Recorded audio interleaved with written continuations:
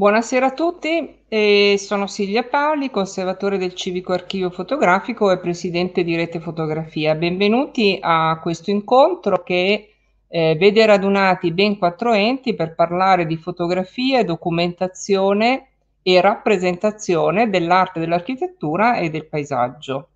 Eh, gli enti, oltre al Civico Archivio Fotografico, abbiamo il Touring Club italiano con Ilaria Parma, la Fondazione La Triennale di Milano con la Biblioteca del Progetto con Elvia Redaelli, il Museo di Fotografia Contemporanea con il curatore Matteo Balduzzi. La tematica è molto, come dire, molto ampia perché naturalmente può avere diverse declinazioni, diverse sfaccettature e queste naturalmente speriamo di riuscire a presentarvele con eh, la varietà dei nostri patrimoni, delle nostre collezioni fotografiche che spaziano appunto dall'Ottocento con le collezioni del Civico Archivio Fotografico, le collezioni del Touring Club italiano che abbracciano anche tutto il Novecento e della Triennale e ci sposteremo poi più sul contemporaneo con le collezioni del Museo di Fotografia Contemporanea. Quindi benvenuti e adesso procediamo appunto a questa presentazione eh, nucleando alcune tematiche, naturalmente saranno soltanto dei focus sulle nostre collezioni e sugli autori fotografi che le nostre istituzioni rappresentano per poi provare anche a dialogare tra di noi e col pubblico su possibili domande, questioni, temi che eh, queste presentazioni possono naturalmente sollevare. Eh, a questo punto, come, come, previsto, partirei io come conservatore del civico archivio fotografico, quindi faccio partire la mia presentazione. Ecco, benvenuti. Eh, io intendo parlare di fotografia dell'Ottocento in maniera, direi, spero anche molto veloce e sommaria per portarvi però a considerare quella che eh, tra gli anni, la fine degli anni 30 e gli anni 60 dell'Ottocento è veramente un'avventura straordinaria delle origini appunto della fotografia. Eh, il dominio del visibile e dell'invisibile, il fare memoria, il senso della storia, la continua sperimentazione nella fotografia perché questa possa durare, possa restare come documento. Queste sono alcune delle caratteristiche della fotografia ottocentesca e per esemplificarlo ho eh, tratto spunto da uno dei testi più famosi che è quello di Charles Baudelaire. Nelle République moderne la fotografia eh, nel Salone del 1859 che eh, esplicita quali sono le caratteristiche di questa fotografia che forse oggi ci siamo anche dimenticati perché ormai mm, siamo abituati a parlare soltanto del contemporaneo e lo storico è il secolo scorso, cioè il Novecento, l'Ottocento è più diciamo negletto e meno conosciuto. È una fotografia che, secondo Baudelaire, che la colloca nel sistema culturale ottocentesco, deve essere al servizio delle scienze e delle arti, deve aiutare quindi le altre discipline, ad esempio il viaggiatore, il naturalista, l'astronomo, sia nell'ambito quindi eh, della ricerca, delle esplorazioni, delle scienze, e deve avere delle caratteristiche che sono molto ben esplicitate, la precisione, l'esattezza,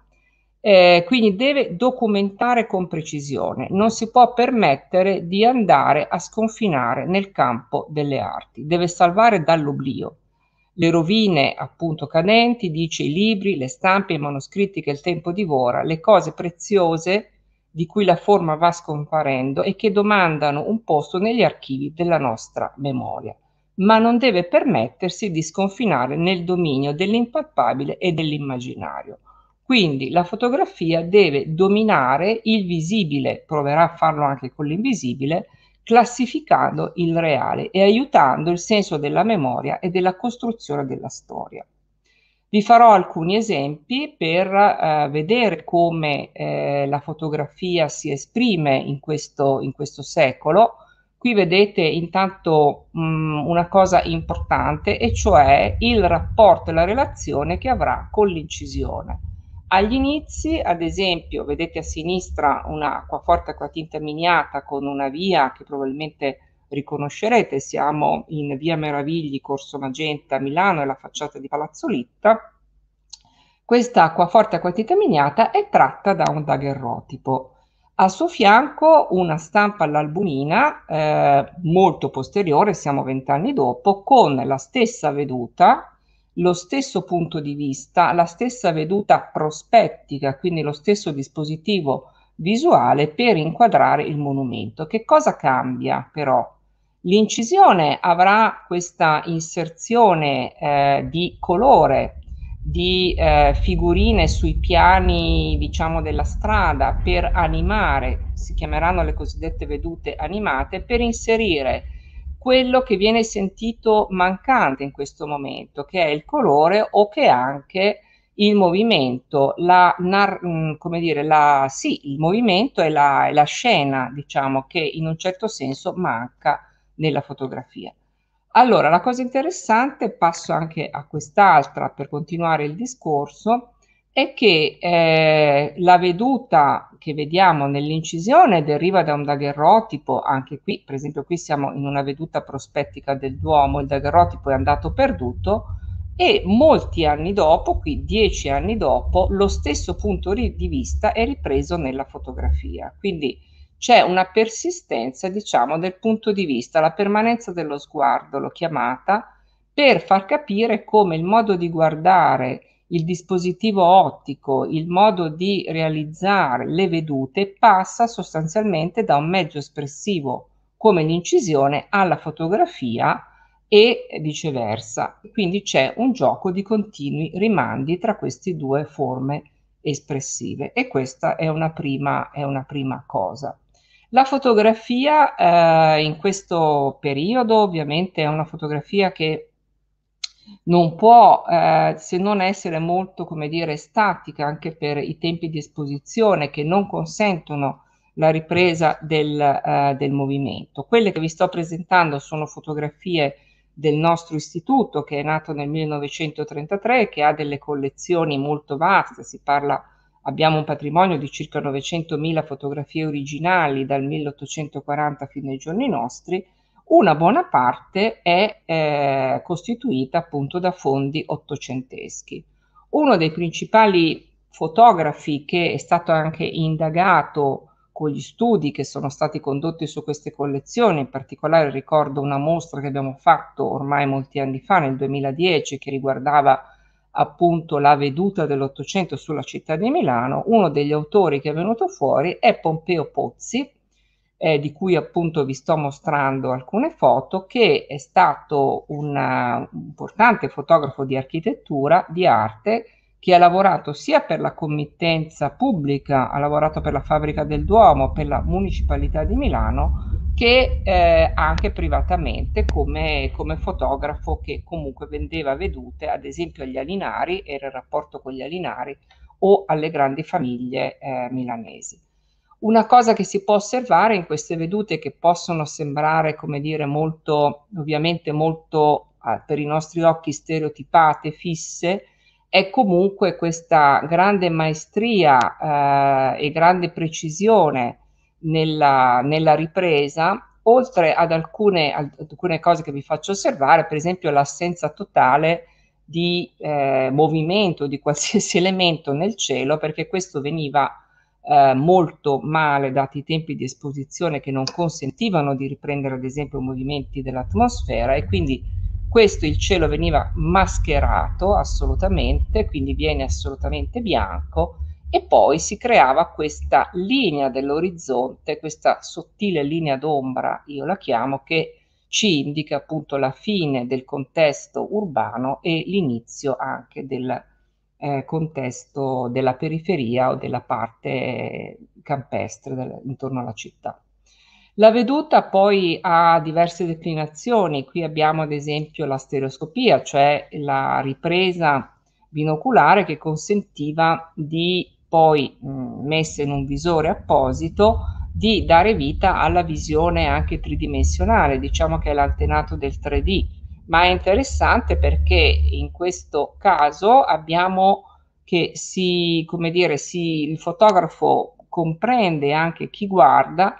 qual è appunto la diversità tra una, una visione e l'altra, uno scatto e l'altro, e c'è appunto lo scarto spaziale. Ogni, ognuno di questi due scatti ha una, una lieve diversità che mostra appunto questa, questa differenza, questa differenza. Sempre Pompeo Pozzi, che è uno dei, di questi fotografi importanti che abbiamo di architettura.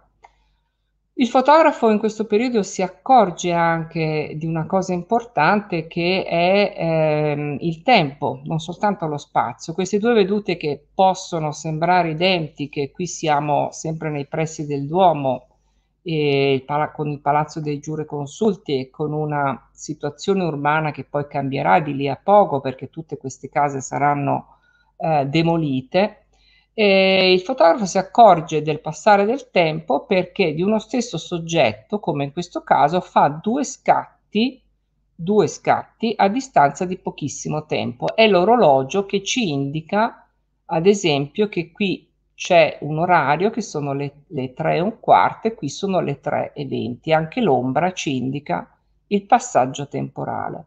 non è una cosa irrilevante perché in questo momento la fotografia è fatta di pesanti lastre in vetro al collo, consapevole e fa questa, questa operazione per rendersi conto appunto del passatempo. Le due stampe, lo dico velocemente, sono diverse anche per problemi di conservazione, l'ingiallimento indica l'ossidazione della stampa all'albumina che è la principale stampa fotografica dell'Ottocento, ottenuta, lo ripeto, da negativo eh, su vetro al collodio che era un negativo molto eh, come dire che consentiva una grande precisione di dettaglio appunto perché trasparente. Ricordo che prima c'era la calotipia e si doveva operare col negativo di carta che non consentiva la medesima trasparenza. Ancora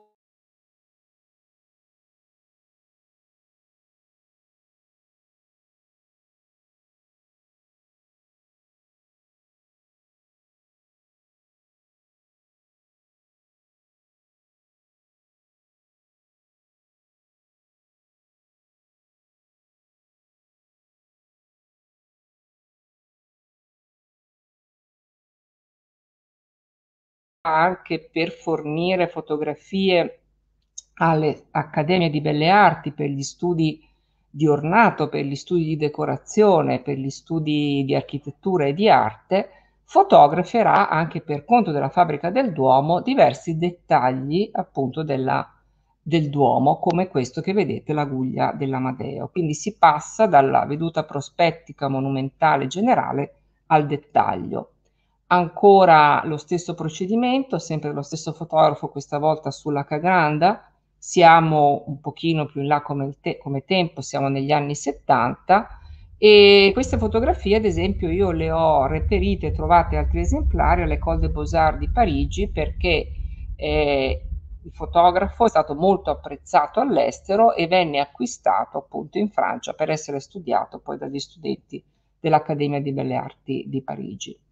La veduta panoramica comincia a diffondersi eh, in questi anni eh, il desiderio di un punto di vista che abbracciasse il più possibile il visibile, quello che il fotografo vedeva davanti a sé, con questa idea di una possibilità di eh, visione onnicomprensiva, di punto di vista che potesse abbracciare appunto tutto il reale e il panorama va appunto a soddisfare questo, questo desiderio. Questa è, è l'arena che veniva eh, allagata per dei giochi d'acqua, per delle nauachie e mh, mm, è interessante come, come, visione quasi metafisica perché qui c'è proprio un'equivalenza tra cielo e acqua, questa immobilità assoluta che ci restituisce l'immagine proprio per l'impossibilità di rendere movimento ma che ha comunque una sua Valencia e un suo fascino ancora oggi. La veduta panoramica che vuole restituire la grandezza del monumento ancora sul Duomo. La veduta panoramica, qui siamo sul campanile di San Gottardo, all'inizio di Corso San Gottardo, che restituisce una Milano ovviamente molto diversa da quella di oggi. Questa è la veduta proprio a volo d'uccello sulla città, ancora il tentativo di avere questa visione onnicomprensiva della città o i primi tentativi con degli apparecchi come il Pantostopic Camera per avere dei panorami qui vedete molto, come dire, anche difficili e sfalsati nella visione, che sono i primi tentativi anche precedenti poi a quello che sarà appunto il, il grandangolo. La visione panoramica per composizione invece, dove vediamo una veduta di, del cantiere eh, di Piazza Duomo quando eh, si abbatteranno i vecchi edifici, siamo in questo caso tra il 1874 e il 75 e si andrà verso la, eh, il rifacimento totale della piazza e la costruzione appunto della Galleria Vittorio Emanuele con un progetto che voleva sostanzialmente celebrare la nuova unità eh, d'Italia e, e, e, Milano non tanto capitale politica ma sicuramente capitale economica e capitale eh, morale. Per composizione perché non c'è il grandangolo in questo caso ma si tratta di tre scatti che poi vengono stampati e giustapposti.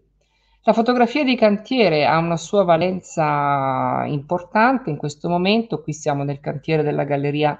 Vittorio Emanuele II che viene costruita tra il 65 e il 67. Due fotografi, De Roche Eiland, uno francese e l'altro tedesco, si associano e hanno in mente ovviamente la grande architettura parigina del ferro e del vetro degli stessi anni, interpretano quindi questa grande costruzione con delle sequenze eh, estremamente interessanti che ci testimoniano un momento che non c'è più perché poi quando l'architettura viene costruita ovviamente il cantiere, il cantiere non è più visibile, quindi hanno uno straordinario valore documentario oltre che testimoniale e interpretativo. Nella, nella seconda veduta c'è il, um, le, diciamo, tutte le maestranze che si sono fermate, forse lo potete vedere, che stanno guardando il fotografo che, eh, che riprende come un grande set, ecco, fermo, immobile per la ripresa. Qui il cantiere del castello, molto velocemente, ancora una volta l'occhio del fotografo che si sposta qui Achille Ferrario che lavorò con Luca Beltrami dalla visione prospettica al particolare eh, che viene indagato e studiato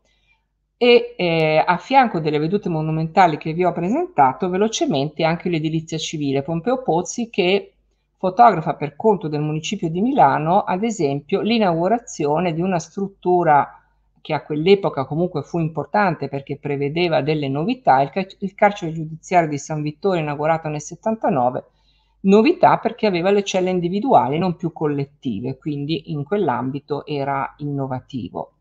Pompeo Pozzi che fotografa ad esempio tutti i mercati, questo è un esempio al Foro Bonaparte, o la costruzione della prima stazione ferroviaria milanese del 1864, quella di Jean-Louis Bouchot, costruita da un architetto francese che era nell'attuale Piazza della Repubblica, che poi verrà ovviamente distrutta per dare luogo poi a una nuova stazione ferroviaria che è quella del 1931. Per dire però che questo fotografo lavorò per una committenza molto variegata e molto diversificata, dalla fabbrica del Duomo appunto alla municipalità milanese. L'edilizia civile, questo è il lazzaretto che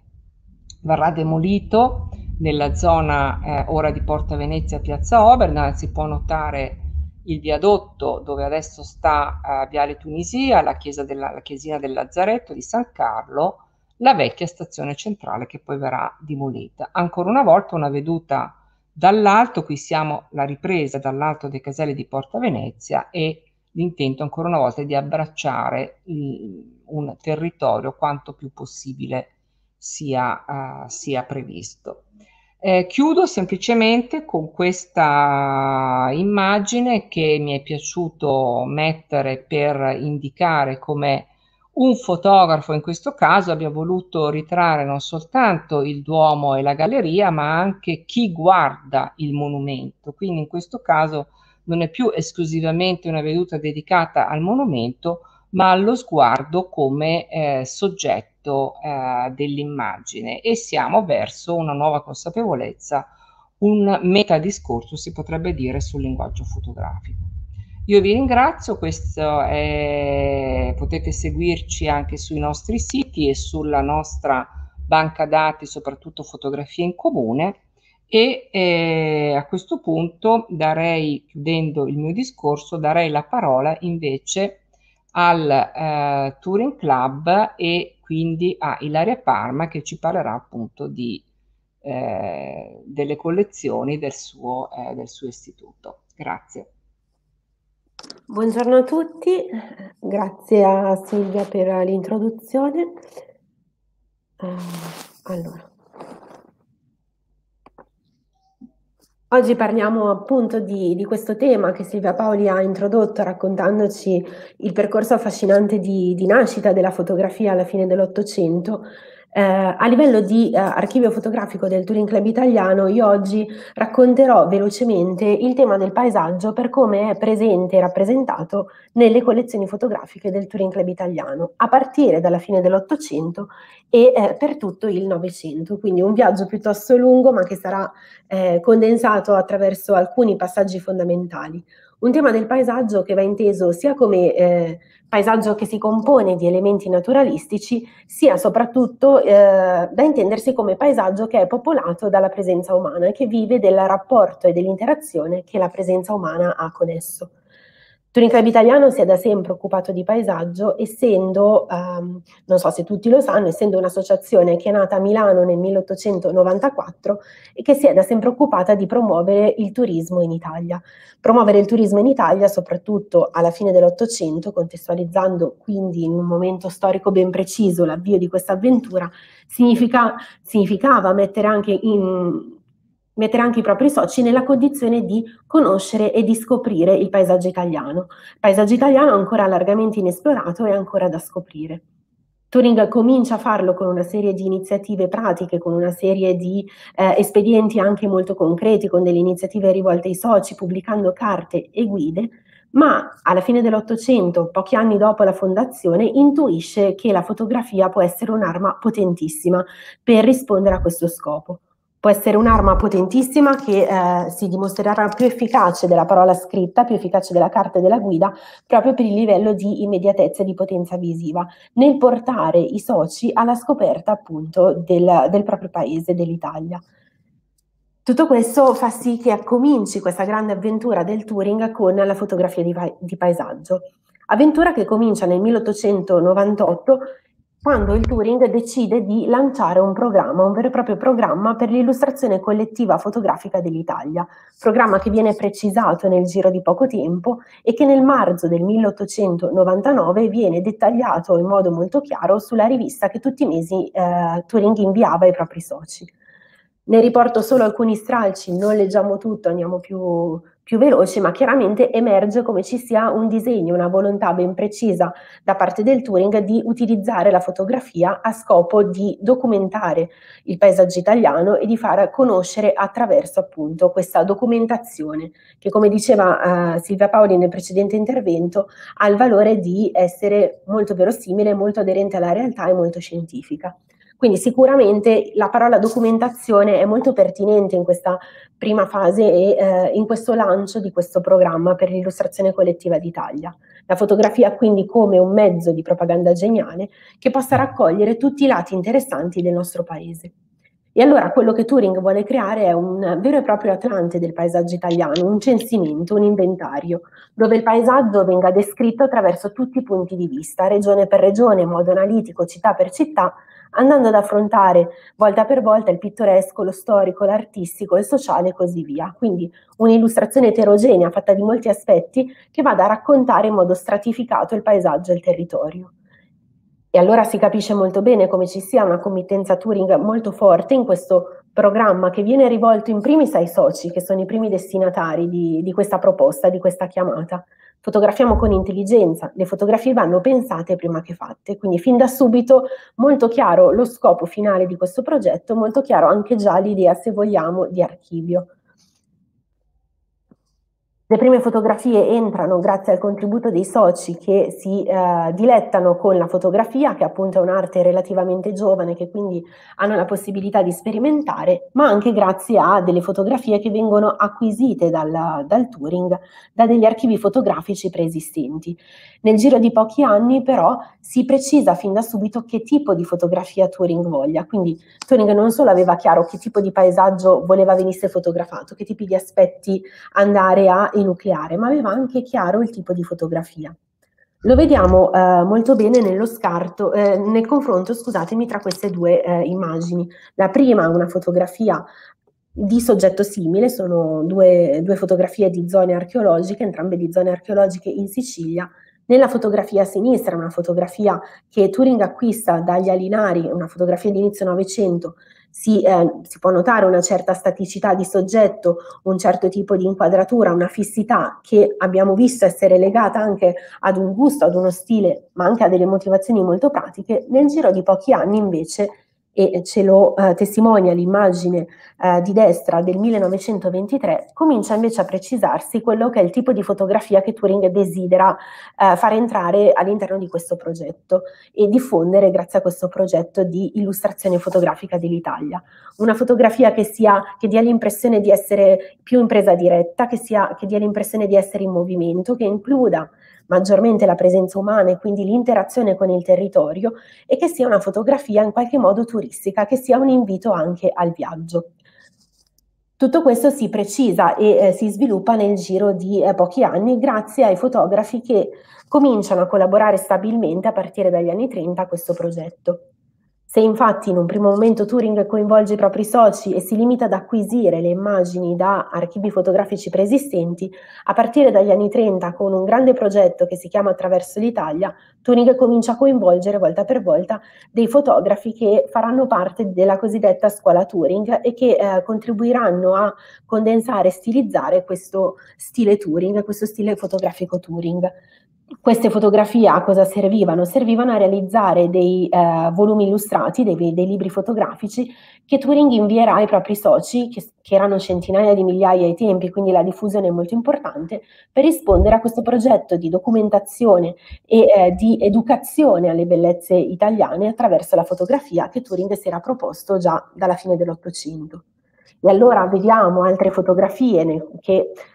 Chiaramente stiamo andando molto veloce in questa carrellata ehm, all'interno dei diversi decenni, queste fotografie di uh, due fotografi che raccontano di un'interazione dell'uomo di nuovo con il paesaggio, in questo caso a scopo lavorativo, quindi il rapporto intrinseco tra uomo e paesaggio quando si tratta di eh, lavoro e anche qui notiamo questa impressione di essere sul posto, questa fotografia molto viva in movimento e questo tipo di eh, fotografia che va precisandosi sempre di più secondo eh, i dettami di questa committenza Turing che aveva le idee molto chiare su cosa voleva. Ed è molto bello vedere come questi fotografi che entrano eh, nell'orbita Turing rispondano fin da subito a, a questo desiderio andando a bilanciare il proprio stile fotografico con le richieste della committenza. Questo è un tema molto interessante che oggi non trattiamo, però eh,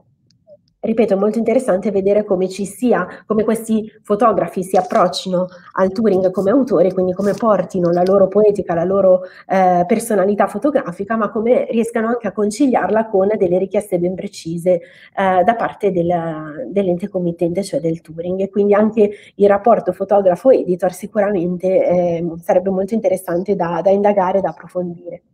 Ancora, anche nel, eh, in quella che è una fotografia più folcloristica, se vogliamo, vediamo in questo confronto dello stesso soggetto nel corso di decenni come ci sia un'evoluzione dello stile fotografico eh, Turing, partendo da quella che è una cartolina che giunge in archivio di inizio Novecento, che ci racconta di una visione ancora, se vogliamo, stereotipata un pochino, eh, o comunque molto eh, di genere, verso un linguaggio che invece diventa sempre più in presa diretta, sempre più anche simile, se vogliamo, a reportage con Bruno Stefani e poi con Gianni Berengo Gardin. Questi sono alcuni dei fotografi che hanno collaborato più stabilmente nel corso degli anni con Turing.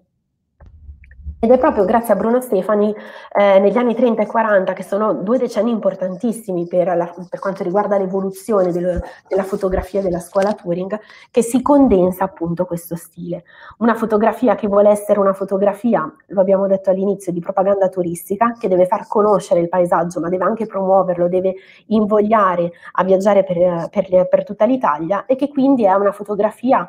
che molto spesso ha come eh, minimo comune denominatore questa questo colore mediterraneo, questi paesaggi soleggiati, molto ariosi, questa fotografia che non elude la, la, scena di genere, la scena di vita, ma che la ritrae in modo sempre molto equilibrato, molto colto, questa visione, eh, se vogliamo, ottimista. Non è mai una fotografia, se notate, eh, entrambi gli esempi, anche quelli che abbiamo visto fino ad adesso, mh, mm, non è mai una fotografia da cartolina, non è mai una fotografia da depliant turistico e da pubblicità che eh, invoglia in modo eccessivo. Si tratta sempre di un equilibrio eh, e di una fotografia che rifugge dall'essere appunto troppo patinata, troppo da Deprian e che però cerca sempre di portare in luce degli aspetti positivi del nostro bel paese, rispondendo appunto agli scopi che il Turing si era dato.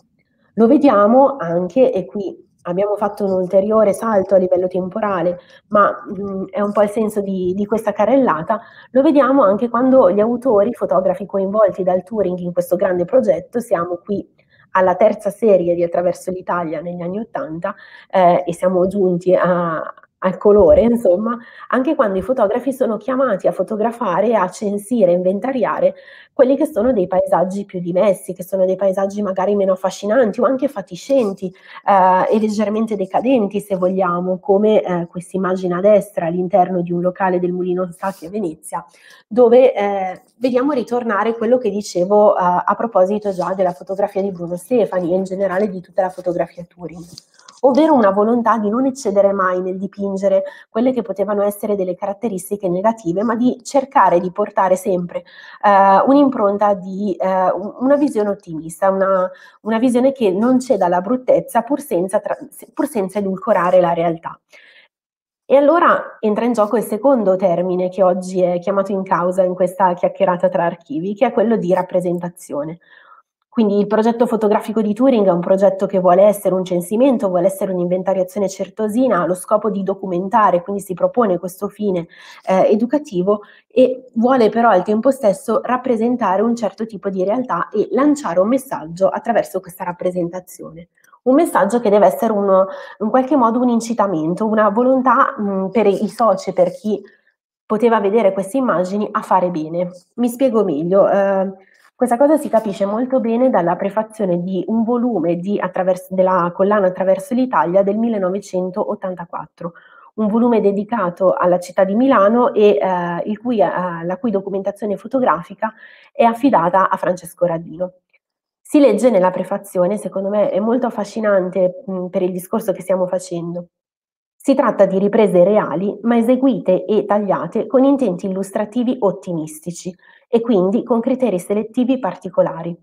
Il nostro libro vuole sottolineare questi valori proprio per sottolinearne la rilevanza politica e civile con una sorta di richiamo. La Milano quasi come potrebbe essere, più che come è.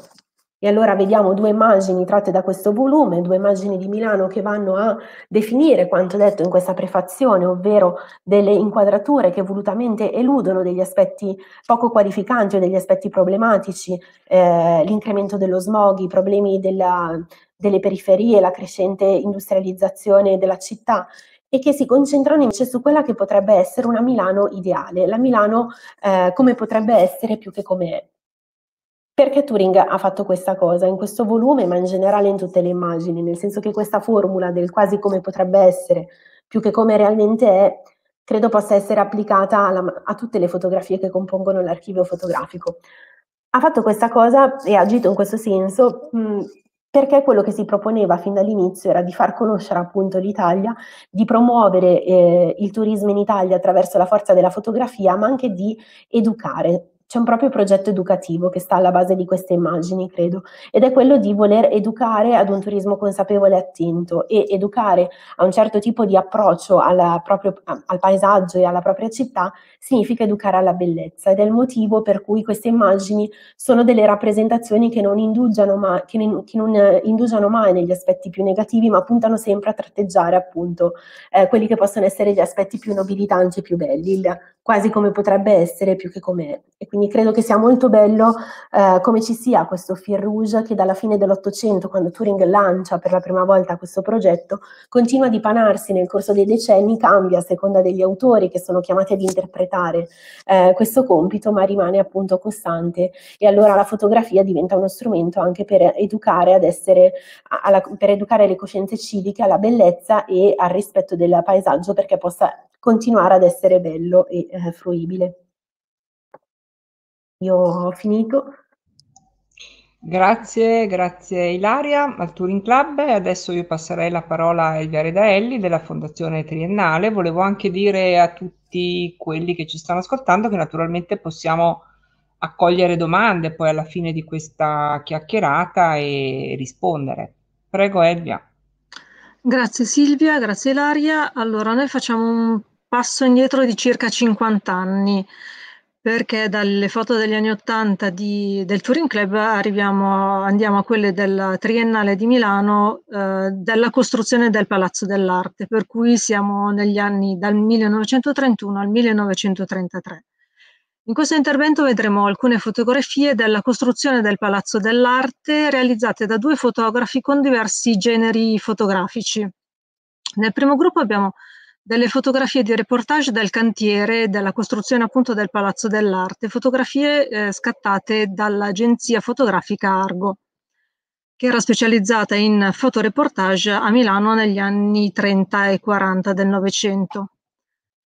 Ehm, nel, nel, secondo gruppo invece vedremo delle fotografie dello stabilimento fototecnico Crimella eh, del Palazzo dell'Arte una volta completato, una volta realizzato. Eh, le foto di cantiere che vediamo qui, che sono scattate da, da Argo, eh, sono uno strumento di documentazione dello stato di avanzamento dei lavori. Questa prima fotografia è una composizione di tre stampe attaccate sul retro con lo scotch dal fotografo stesso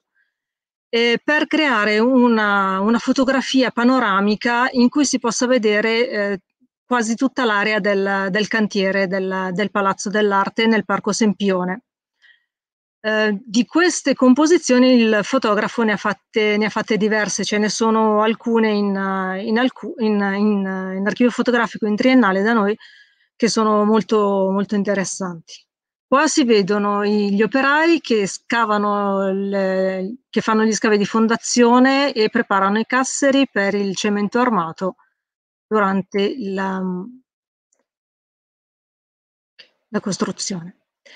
In queste seconde fotografie, in questa seconda slide, invece vediamo il Palazzo dell'Arte che è già uno stato d'avanzamento un pochino più, più, avanzato. Questa in particolare è la, la curva vista dall'interno eh, e dall'esterno in, in, una, fotografia ancora più, più avanzata dove si vedono qui in questa fotografia a destra il rivestimento in clinker, che è un materiale che è stato portato in Italia da, dall'architetto Muzio stesso. Una nota interessante di, questa, di, queste fotografie sono gli operai, mi piace notare gli operai che sono in, in posa per farsi fare la foto dalla, dal fotografo.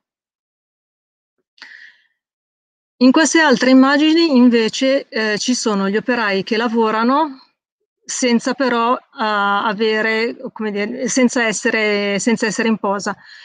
Quasi non si accorgono della, della presenza del fotografo che eh, scatta queste fotografie durante la costruzione della fontana a destra. Uh, fuori dal Palazzo dell'Arte c'era una fontana dove suonava un'orchestra e del triportico che dà verso il Parco Sempione.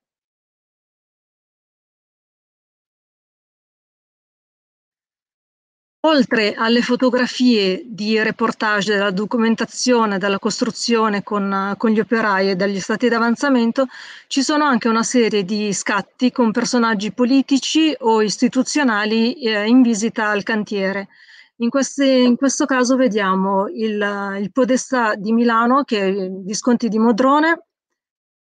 con uh, questo personaggio con il cappello e il cappotto che parla con due, con due operai nel cortile della Triennale, infatti sullo sfondo si vede uh, leggermente sfocata il, uh, il Palazzo dell'Arte.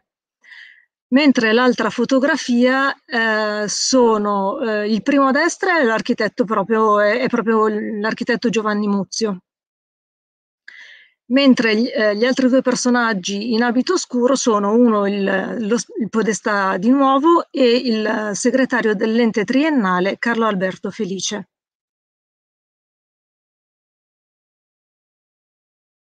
A dimostrazione di quanto fosse importante la realizzazione di un Palazzo delle Arti eh, a Milano,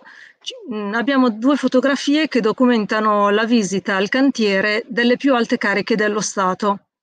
Quindi anche, diventano anche quasi uno strumento di propaganda per, per il regime. Infatti da una parte c'è il re e dall'altra il duce che è accanto a Giovanni Muzio con due mattoni, probabilmente qui Muzio sta mostrando il clinker a, a, a Mussolini che non è mai stato usato prima in, in Italia.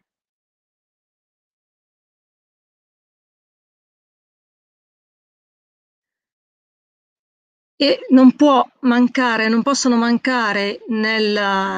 in una documentazione di cantiere le foto dalle maestranze, da una parte eh, riprese dal terrazzo della, del, del, del, salone d'onore, tutte le maestranze della, dell'impresa che ha svolto i lavori, mentre dall'altra parte il, il, pranzo offerto agli operai dalla, dalla ditta, eh, era la ditta Ragazzi, eh, dall'impresa costruttrice eh, quando si arrivava al tetto nelle costruzioni è tradizione, penso che ancora adesso si faccia, tradizione fare un pranzo di tutte le maestranze. Sullo sfondo c'è il tavolo delle, delle personalità, c'è, c'è l'architetto e ci sono gli impresari che dire, pranzano insieme agli operai. Con queste concludo le fotografie di, di reportage per passare a, a, delle fotografie completamente diverse del palazzo eh, finito. E queste fotografie cambiano anche di, di fotografo, infatti qua c'è il, il, fotografo dello stabilimento fototecnico Crimella e sono eh, più che di documentazione come nel gruppo precedente, delle fotografie di rappresentanza. Quindi qui abbiamo delle fotografie con, delle linee cadenti, con le linee cadenti raddrizzate e ehm, che diventa una fotografia con un, un, un ottimo mezzo per la, rappresentare l'architettura. La, mezzo che eh, trova nella sua qualità di, eh, preci di precisione e ehm, per garantire un'oggettività richiesta per la riproduzione dell'architettura. Infatti anche gli architetti in questo periodo, siamo negli anni 30, usavano molto fotografare eh, le proprie architetture.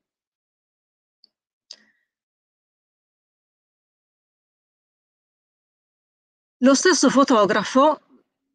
e nello stesso edificio, lo stesso periodo, usa, eh, delle, realizza delle, degli scatti completamente diversi. Eh, qui infatti, allora, solitamente le immagini sono considerate documenti eh, senza una mediazione soggettiva, questa era una visione un po' eh, del, dell'inizio del secolo mentre più avanti, soprattutto negli anni 30, ehm,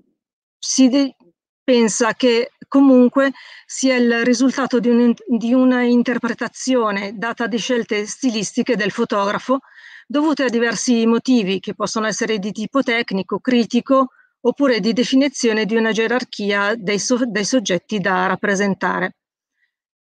Questo discorso infatti è sottolineato da queste immagini eh, che sono riprese dal basso verso l'alto senza raddrizzare le linee cadenti o con ehm, linee oblique, linee diagonali e quindi lo stesso fotografo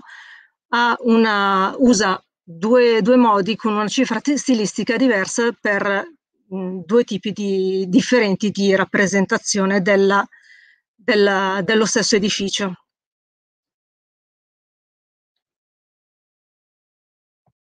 Andando avanti ci sono poi delle immagini del, degli interni, sempre con, eh, in questo caso con le linee raddrizzate eh, e corrette. Questo è il piano parco che adesso è completamente diverso, non, non, esiste, più, non esiste più questa pavimentazione in mosaico e questo invece era l'atrio come si vedeva nel, nel 1933 con questi marmi e Comunque la, la visione è con linee raddrizzate, visione frontale e ad altezza occhio. L'ultima, l'ultima fotografia è una delle immagini istituzionali più rappresentative del Palazzo dell'Arte, che è questa presa dalla, dal Parco Sempione, eh, sempre anche questa nel 1933, dove si vede la fontana e si c'è un accenno di ombra degli archi di Sironi che aveva realizzato nel, nel giardino della Triennale. E con questo concludo. Grazie Elvia.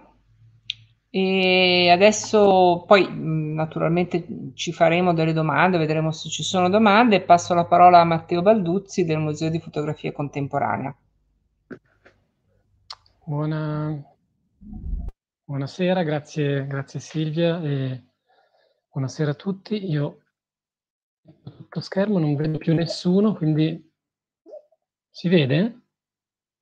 Sì. Ok, non so se c'è un modo per vedere ancora qualcuno, però ormai...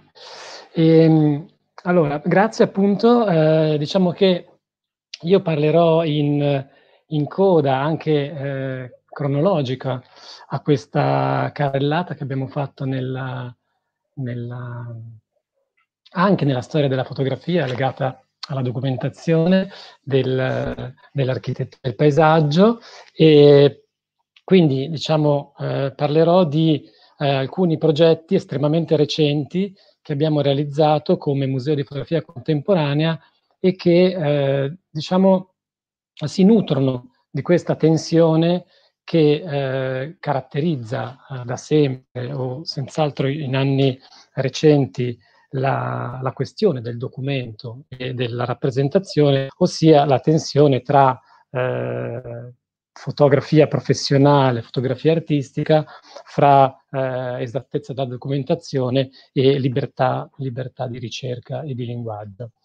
Mm, si tratta di due progetti molto recenti a cui però eh, provo ad arrivare con, eh, con, una premessa, con una premessa spero abbastanza veloce, che ci riporta addirittura, ci riporta indietro addirittura eh, ancora prima di dove avete iniziato voi, cioè agli albori della fotografia, alla missione Heliographique del 1851, non per attraversare un secolo e mezzo uh, adesso in cinque minuti, ma per ricordarci che appunto l'idea, il concetto stesso di patrimonio nasce con la fotografia, diciamo, uh, con la metà dell'Ottocento e che fin da subito, subito l'utilità della fotografia nel documentare il patrimonio è assunta dallo Stato, in questo caso dallo Stato francese, come eh, diciamo un elemento fondamentale che caratterizzerà poi, nel caso della Francia, in qualche modo tutta, tutta la storia del, dello Stato. Il passaggio dalla mission eh, heliographique è, eh, diciamo, diretto al 1985, cioè la mission photographique della Datar, che sceglie consapevolmente il nome mission, andando proprio a citare eh, consapevolmente appunto l'esperienza del 1851, e che eh, pone in modo diretto, ehm, pone in modo diretto appunto la questione di cui eh, che vorrei toccare oggi e che in qualche modo anche noi tutti abbiamo già, abbiamo già osservato, ossia eh, qual è il ruolo del fotografo o dell'artista o del professionista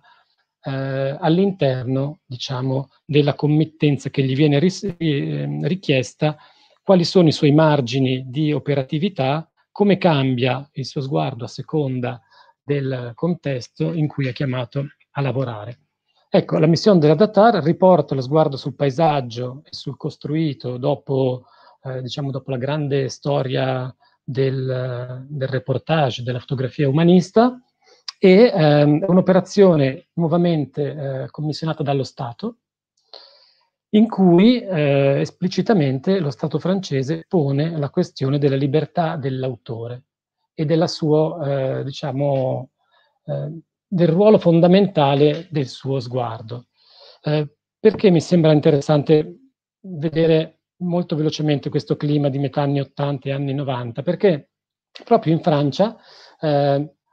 abbiamo appunto l'enunciazione di eh, una missione che guarda al territorio francese eh, da parte di un ente dedicato alla pianificazione, quindi non un ente eh, dedicato alla crescita artistica o culturale, che però eh,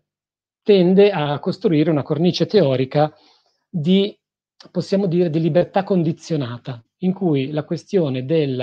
eh, della committenza diventa eh, un elemento anche, diciamo, teorico del progetto. Eh, sempre nella Francia degli anni 90, eh,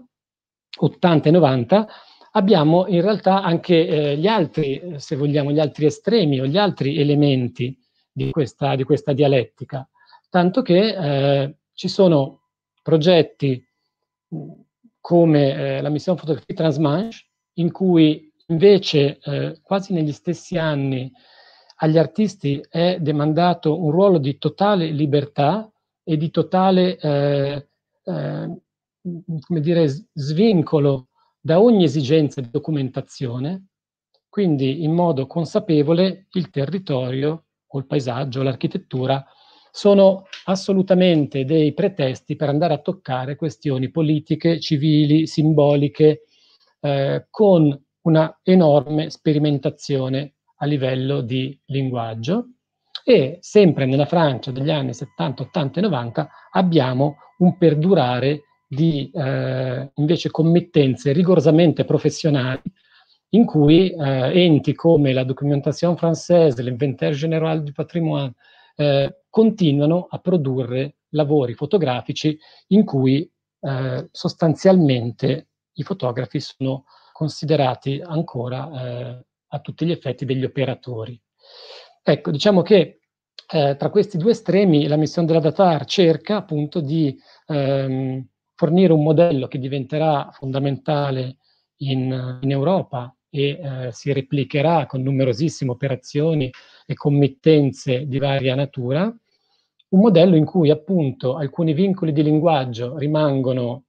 eh, stabiliti, l'esattezza, eh, il grande formato, eh, la, diciamo, l'ortodo- l'ortodossia della ripresa in bolla, mentre contemporaneamente si aprono dei margini di, di libertà, chiamiamola autoriale. Questa, questa, esperienza della Datar è anche modello, e adesso arriviamo già, diciamo, a noi, a, alla storia del Museo di Fotografia Contemporanea, e anche eh, uno diciamo, dei modelli, insieme a quello che nel frattempo aveva aggregato Luigi Ghirri sul paesaggio italiano con, con l'avventura di viaggio in Italia, uno dei modelli di una vastissima committenza pubblica, Archivio dello Spazio, eh, ideata da Achille Sacconi e da Roberta Valtorta, che nuovamente eh, poneva eh, in tensione questa uh, questione della, diciamo, della, libertà autoriale e della committenza. Uh, Archivio dello Spazio ha realizzato sul territorio di tutta la provincia di Milano quasi 8.000 fotografie, quindi con una documentazione assolutamente capillare, da parte di, dei fotografi più importanti, diciamo, di quella eh, stagione della fotografia italiana, a partire dai grandi maestri che probabilmente conosciamo tutti, da Ghirri a Basilico, a Guidi, a Castella, Cresci, Olivo Barbieri, fino a, alle giovani generazioni. Archivio dello Spazio è una, mh, mm, diciamo, portava dentro di sé il concetto, diciamo, di archivio in modo esplicito, fin dal, dal nome, ma anche nelle modalità di produzione, di presentazione e appunto di conservazione dei lavori. E in questo, ovviamente, se da un lato tendeva a, a normalizzare la produzione delle opere e renderle ehm, diciamo sta- standardizzate, dall'altro eh, forniva anche dei limiti espressivi molto ampi, molto grossi per gli artisti che si trovavano, diciamo, confinati nel, eh, in una di quelle che è stata forse una delle ultime eh, stagioni in cui la fotografia di ricerca ha eh, prodotto eh, fotogra- stampe, stampe fotografiche in formato standard 40x50 eh, o eh, più piccolo da archiviare con modalità di passepartout e cornice ehm, cioè archiviare col passepartout ed essere poi esposte in cornice più vetro, appunto con una modalità di presentazione che possiamo forse definire classica. Eh, I vincoli per gli autori non erano soltanto quelli di, eh, legati alla presentazione delle opere, eh, sempre quando parliamo di documentazione eh, abbiamo a che fare con, eh, con un doppio diciamo, binario per eh, discutere il ruolo dell'artista, cioè da un lato il linguaggio, ossia come fotografo, dall'altro ovviamente il soggetto, ossia cosa fotografo. In questo senso, ehm, appunto, Archivio dello Spazio si inserisce pienamente nella tradizione di documentare il patrimonio architettonico, in questo caso i beni culturali e ambientali della provincia di Milano. Quindi eh, eh, la questione credo che sia anche, sarebbe anche interessante eh, riguardarla, riguardarla, oggi in modo più approfondito, mentre da un lato Archivio dello Spazio eh, valorizza il ruolo dell'autore, mentre eh, aiuta senz'altro a portare anche in Italia presso le istituzioni una certa fotografia, eh, diciamo, di ricerca non narrativa, nello stesso tempo tende appunto a standardizzare i linguaggi e forse eh, in qualche modo anche sul finire degli anni 90 anche a normare o comunque a limitare la pura libertà, diciamo, di ricerca eh, della fotografia che nel frattempo stava cambiando e si stava anche evolvendo. Questa, diciamo, tensione verso un'evoluzione non solo dei linguaggi, ma anche dei materiali, anche delle presentazioni, la troviamo nel progetto Milano senza confini, e nel progetto Idea di Metropoli, sempre curati da Roberta, ideati e curati da Roberta Valtorta, siamo nei primi anni 2000 e eh, a questo punto diciamo che la committenza eh, si svincola da un'esigenza di documentazione eh, di, un, di, un, bene, di una serie di beni e eh, diventa sostanzialmente un sostegno alla creazione, invitando gli artisti a riflettere non tanto sulla realtà eh, così com'è, dicevamo prima da qualche parte, forse eh, con il Turing, eh, né così com'è, né così com'è, ma, eh, ma come potrebbe essere, ma riflettendo, eh, invitando gli artisti a riflettere in modo totalmente libero sulla contemporaneità. E quindi producendo delle opere che a questo punto hanno anche un'enorme variabilità di linguaggi, di formati e di appunto tecniche e anche di riflessioni teoriche che l'accompagnano. Ecco, entrambe, diciamo che Mila- eh, Archivio dello Spazio eh, costituisce la nascita, la base, la, la, la, base diretta della nascita del Museo di Fotografia Contemporanea, istituzione pubblica dedicata alla fotografia, che quindi eh, ribadisce questa eh, importanza di un sostegno da parte dello Stato al, e un riconoscimento della fotografia di ricerca, appunto Archivio dello Spazio e i progetti che abbiamo visto adesso, che nuovamente coinvolgono eh, grandi artisti internazionali come eh, Thomas Struth oppure Fischl Weiss e grandi fotografi italiani come Mimmo Iodice, Francesco Iodice, che allora era giovane, eh, appunto Mario Cresci, Gabriele Basilico, Paola Di Bello, insomma diverse generazioni di, di fotografi oggi eh, fanno parte delle collezioni del museo e in qualche modo ne costituiscono eh, il nucleo fondativo. La questione, diciamo, della della pura documentazione, la questione del, eh, della, della, parte più, chiamiamola tecnica, operativa, eh, della fotografia, eh, non, eh, non, viene diciamo, presa in considerazione negli anni di eh, apertura del Museo di Fotografia, eh, intanto perché appunto diciamo, l'Italia non ha la tradizione eh, così ampia di eh, documentazione continuativa eh, fotografica delle modificazioni del territorio, del paesaggio e dei beni, e dei beni architettonici, ehm,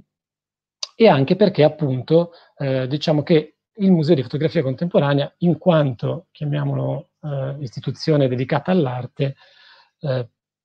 ovviamente eh, tende a privilegiare nelle sue collezioni un, um, una fotografia che abbia un connotato di ricerca. Eh, quindi non entrano, ad esempio, nelle collezioni del Museo di Fotografia ehm, tutti eh, i fondi di carattere soprattutto etnografico di Regione Lombardia, così come, questo è un esempio che faccio per ricollegarmi alle immagini che abbiamo visto fino adesso, così come non entrano,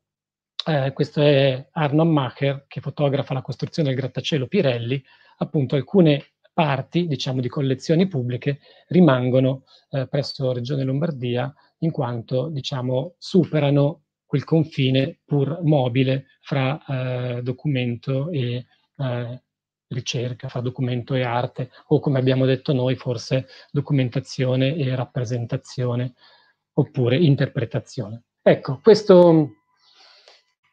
questo quadro, pur eh, molto, diciamo, molto veloce, molto approssimato, eh, questo quadro rimane un riferimento dell'attività del, del museo, eh, che continua a commissionare progetti a fotografi delle più diverse generazioni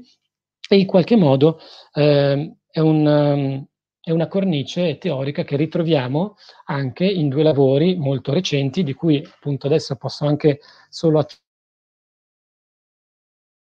accennare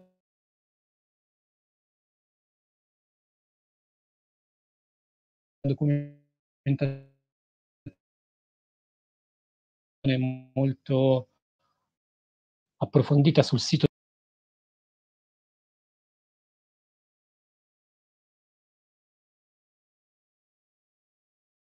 tradizione. Abitanti è un progetto, una committenza eh, promossa dal Museo di Fotografia da Triennale di Milano e dalla Direzione Generale del Ministero, cambiato nome diverse volte, adesso si chiama Creatività Contemporanea,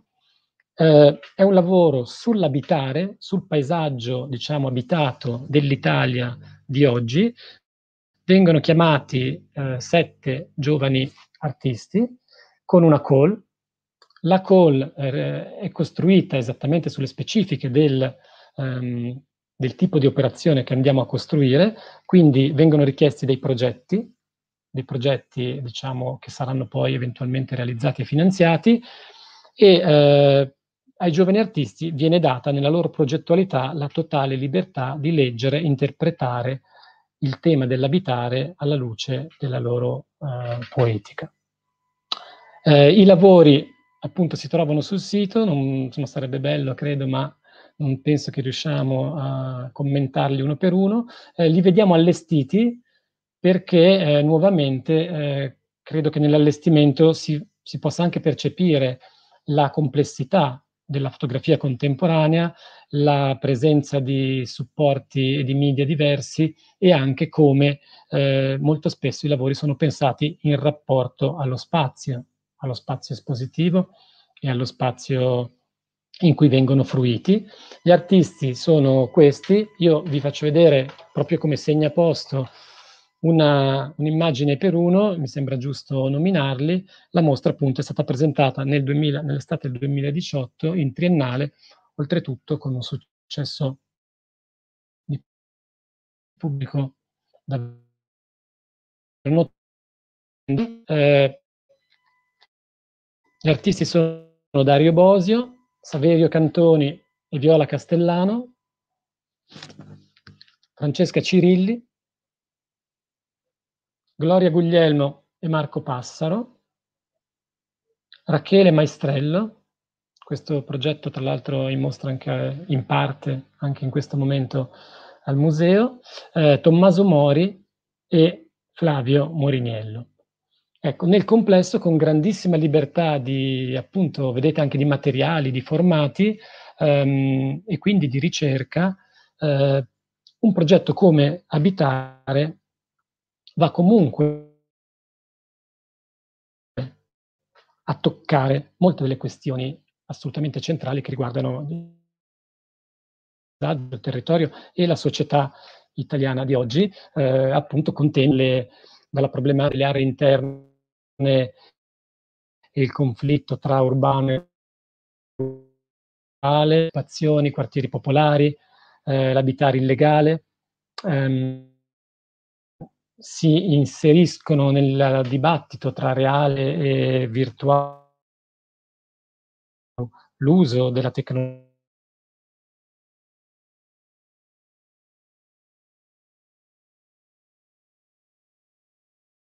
esistenziale che oltretutto stiamo sperimentando in modo incredibile tutto quanto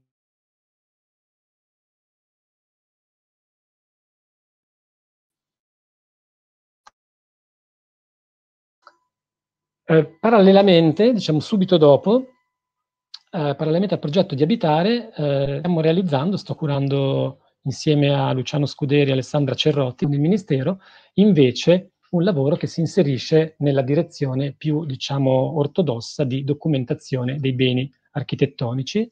Si tratta di una committenza per l'Atlante dell'architettura contemporanea. La committenza nuovamente è stata lanciata con una call di ordine però completamente diverso, in cui eh, gli artisti sono stati selezionati con un profilo nazionale e quindi una uh, documentazione uh, secondo degli elenchi precisi stile ministero e con dei canoni, diciamo anche di linguaggio uh,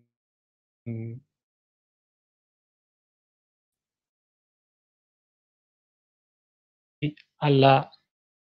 corretta lettura del, eh, del manufatto.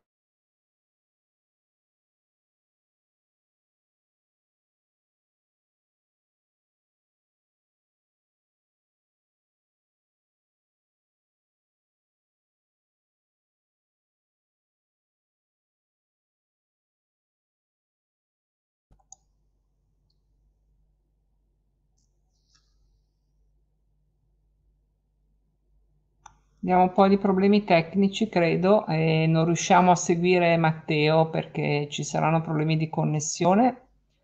Vediamo se riesce a riprendere. Scusate, scusateci.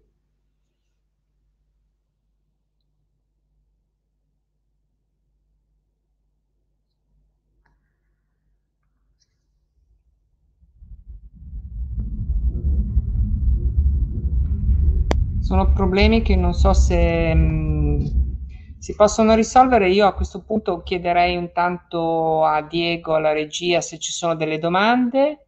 e altrimenti ne faccio intanto qualcuna io, poi vediamo se, se invece concludiamo. Ci sono domande? No? Allora io mh, mm, naturalmente ringrazio tutti eh, per quello che è stato detto, che è stato presentato, le questioni anche importanti che ha detto Matteo all'inizio della sua presentazione che purtroppo non abbiamo potuto seguire fino, fino, fino alla fine. E, mh, le, sarebbe tutto quello che abbiamo detto tematica per un convegno intero, per una giornata di discussione, perché veramente le cose sono, sono tantissime e, e, noi abbiamo avuto pochissimo tempo. Ma volevo chiedere intanto magari al Turing, a Ilaria, se ci può dire qualcosa Matteo appunto dicevo, si diceva il ruolo del fotografo, eh, il ruolo della committenza eh, nella, nell'azione del fotografo e quindi suo, eh, nelle sue modalità eh, di intervento, cioè che, come è stato mh, il Touring Club nei confronti della committenza. Ecco, uh, c'era, come dire, una, una precisa, um, c'erano delle precise prescrizioni, c'era una, un legame con i fotografi di un certo tipo. Ecco, come è stata declinata questa, questa committenza? Magari anche in modo molto diverso, penso, negli anni o nei vari periodi del Turing. Sì, sicuramente hai ragione nel dire che è stata declinata in modo diverso a seconda degli anni, a seconda della, della figura con cui la committenza Turing si è volta per volta interfacciata. È un tema che sicuramente è da approfondire, ci piacerebbe approfondire eh, appunto molto, abbiamo una serie di, di, documenti che comunque ci danno degli indizi in questo senso e il ricordo di chi ha lavorato per anni nell'editoria Turing, che quindi diventa una fonte preziosa per riuscire a ricostruire questo tipo di lavoro. Diciamo che soprattutto con gli autori eh, più, più, noti, più affermati, quindi a partire dagli anni 60 e poi 70, 80, dove la figura dell'autore eh, comincia ad affermarsi sempre di più, anche perché è inserita chiaramente in un contesto più ampio dove eh, in generale la figura del fotografo viene sempre più riconosciuta e gode sempre più di autonomia, l'equilibrio con la committenza Turing è stato un equilibrio sempre riuscito, ma che ha mh, avuto anche delle prove di assestamento, quindi de, de, degli, eh, non mi viene la parola, degli, eh, come dire, degli, delle relazioni, diciamo, abbastanza, abbastanza vissute. L'equilibrio era garantito dal fatto che quando i fotografi andavano a scattare per la collana attraverso l'Italia, viaggiavano mai da soli, ma eh, in compagnia del, della persona incaricata di fare da editor e quindi era proprio questo legame che si costruiva molto stretto e che veniva sviluppato non soltanto al termine della campagna fotografica, ma già proprio in sede di scatto e quindi durante eh, il viaggio in queste regioni e quindi si, si creava questo, questo, equilibrio che permetteva di coesistere, eh, che questi due elementi coesistessero, insomma, la personalità del fotografo, il desiderio di autonomia del fotografo di comparire come autore e al tempo stesso la committenza Turing con quello che era appunto il suo programma e le sue esigenze ben precise. Spero sì. di aver risposto. Sì, sì senz'altro. Ah, ecco, Matteo. Matteo. Eh, forse eri arrivato comunque alla conclusione, immagino, del, dell'intervento, perché abbiamo perso un po' qualche pezzo alla fine, o dovevi ancora terminare? Forse è terminato, vabbè. Eh, se non ci sono delle domande... Ma, guarda, no. probabilmente ero abbastanza, abbastanza alla conclusione, esatto, per non, per non Sì, abbiamo problemi di connessione. Eh, a questo punto, se non ci sono ulteriori domande, io non so, ringrazierei tutti perché siamo ormai alle sette e un quarto, vi ringrazio. Appunto, come dicevo, secondo me dovrebbe essere tematica per un convegno perché abbiamo detto tantissime cose e non è possibile sviscerarle tutte stasera. Vi ricordo il prossimo incontro che sarà il 24 marzo e che vedrà eh, discutere tre associazioni facenti parte di Rete Fotografia sulle professioni e la figura del fotografo, AFIP, Green e Tau Visual, quindi vi do appuntamento al prossimo mercoledì e vi ringrazio per, per la partecipazione. Grazie a tutti. Grazie. Grazie, ciao. Diego, ci sei?